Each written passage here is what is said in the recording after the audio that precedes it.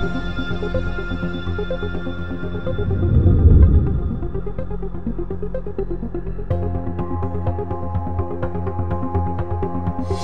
name is Thor Edvardsen. I'm from Oslo in Norway. I'm the president-elect of EACVI. And I'm here in uh, Lisbon at the EuroEcho Imaging 2017 in Portugal with my good friend and colleague Tom Marwick. He is a professor of the Baker, uh, the, the, Baker Heart and Diabetic Institute in Melbourne in, in Australia. And, and he's also an editor in JACC and JACC Imaging. So he will know all the new stuff in the imaging area from that perspective as well as a clinician. So Tom, the topic for today is new technical development in imaging and we're going to discuss some of the most important changes and, and progress and, uh, advance, uh, um, and advances in clinical practice. Mm. What does matter for the patients? So if we start with the last decade and mm. then move on to the future. Mm. So what what would you um, say is the most important progress that happened the last decade in yeah. imaging? It's an interesting question, Thor. I mean, I think inherently it's subjective, isn't it? You you perceive right. relative importance from what you do.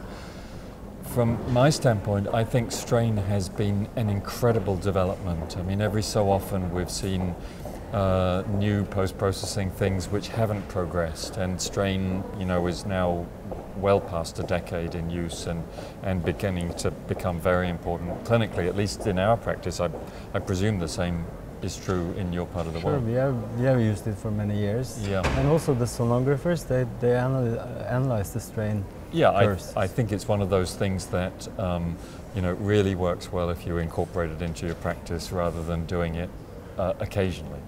But you must be very interested in strain because the threshold to learn it is, is quite high. Do you agree?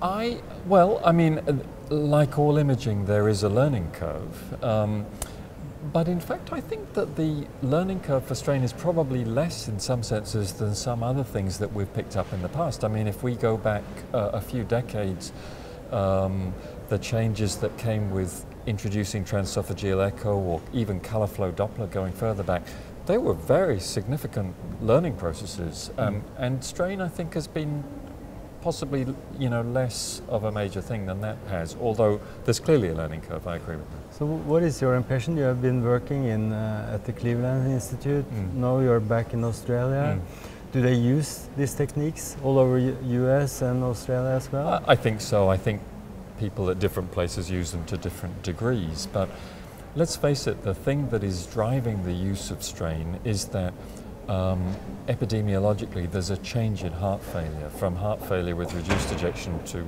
fraction to preserved ejection fraction and, and really uh, strain has been a very useful tool for that transition. I read your paper in, um, uh, it was the European Journal of Heart Failure where you studied asymptomatic mm. patients with mm. stage B heart yeah. failure, yeah. and you could predict by strain.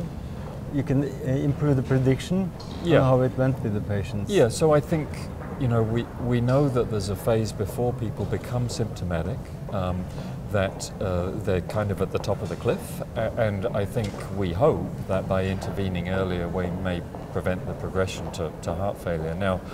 The latter part of that, I think, needs to be proven, but I think we are better able to stratify their risk. Do you really think that echocardiography is, is a tool to screen people yeah. before they get really sick? I, I, I, do. I mean, ideally, we would do it with some sort of biomarker, um, but at the moment, I don't think we have the right tool. Um, and I think the thing that we need to keep in mind with echo, in fact, you could put it down as another of the developments for the last decade, has been the development of the handheld. Uh, you know, we've been beneficiaries of the process of automation and miniaturization. And so what we do now for strain on a full-size machine, in five or ten years' time, will we do it on a handheld? Quite conceivably so. Mm. So if that were the case, then, then yes, maybe it would be possible to use an imaging approach to identify people at risk in primary care. So what will happen to strain measurements the next few years from now? Do you know? Do you have any idea? Um, well, I, I mean, uh, you know, obviously the thing that is happening at the moment is the question of whether we should transition from 2D to 3D strain, and I think the attraction of that is um, that we lose speckles coming out of plane in 2D, and we don't have that problem in 3D. I think the disadvantage is that there's obviously a cost in terms of temporal and spatial resolution with moving to 3D, and there's, there's a lot of ambiguity and disagreement in the literature as to whether we mm. should be using 3D or should, should still be using 2D. So I think that we need to work through that. But I think in addition to the whole strain um, story, there's also a story about how we use echo to plan for structural heart disease interventions and do measurements of, for example, volumes in a way that we've just used dimensions before. I think that's been a huge change in the last decade. Mm. If you return to the handheld uh, mm. machines, uh, what is your opinion? Should every physician have one instead of the stethoscope? Yeah. So I think this is a this is a fundamental question about handheld as to whether it's a stethoscope replacement or uh, whether it's something that perhaps we might use as echocardiographers to judge who should go on to having a full echo. And I think the challenge with it being used as a stethoscope replacement is that there are many people in cardiology who last did an echocardiogram, you know, 20 or 30 years ago. And the prospect of getting them to go back to do to using echo again is something very unfamiliar for them. But I'm, I'm very attracted to this idea that we would use a handheld or a lower level device to satisfy uh, simple questions from a referring clinician in a way that are not well captured by the appropriate use criteria. Um, you know, doctors ask for tests because there's some clinical ambiguity. Um, and uh, you know, preventing them from doing them because of the appropriate use criteria is probably not a good solution. But maybe we could provide the information that they want from a simple handheld test without the patient coming to the echo lab. Like a quick test? Yeah, exactly. Bedside? Exactly. Yeah. Yeah. There are some debates, at least in, in Europe, mm if you should allow other specialties yeah. to use the handheld yeah. equipment. Yeah. What, what is your opinion about that? I, I, look, I agree there are debates across the world. I, I, think the issue is really the level of expertise. I, I, am not so worried about the label that people carry. The, the, the question is, or the fear is, I suppose, that if somebody who's less expert uses the device and then fails to recognize something, you know, misleading information is worse than no information at all. Absolutely.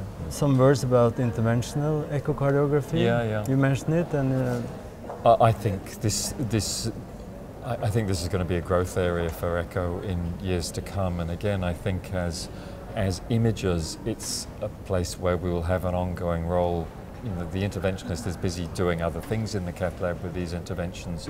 Often the interventionist is required, and I think the history of this is that we, uh, as, as imagers, have invested a lot of time into this and likely will continue to do so in the future as interventions become progressively less invasive. So thank you, Tom. Thank you for thank the you, discussion. Tom. Thank you for coming. Nice thank to see you. you.